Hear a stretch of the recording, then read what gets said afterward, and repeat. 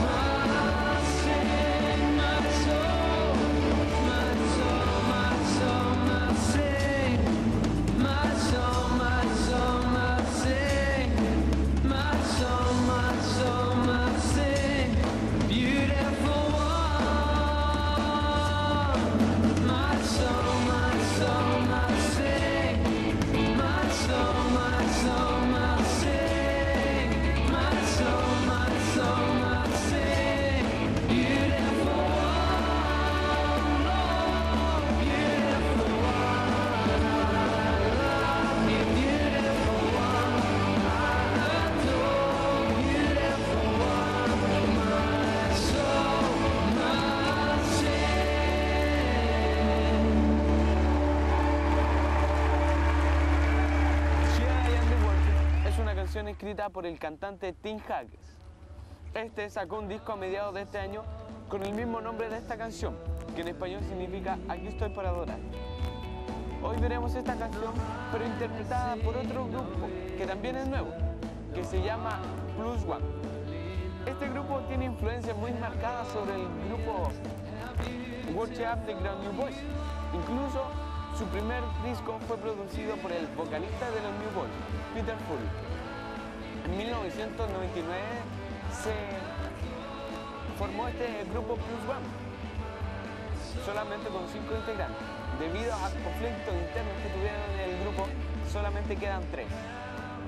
El clímax de esta canción comienza en la declaración Nunca podré entender cuánto costó ver mis pecados en la cruz.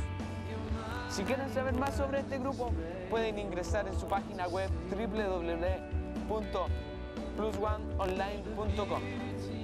Ahora veremos esta canción de Tim Hughes, Here I Am to Worship, interpretada por el grupo Plus One. Veámosla. Everybody sing with us on our last song. It's a song that sounds a whole lot prettier when a bunch of voices sing it. It's a worship song. It's called Here I Am to Worship. This is why we're here tonight. And we're going to let the song speak for itself. Light of the world, you step down into darkness. Open my eyes, let me see. See beauty that made this heart adore you. Hope of a life spent with you. Here I am to worship. Here I am to bow down. Here I am to say that you're my God. You're altogether lovely, altogether worthy, altogether wonderful to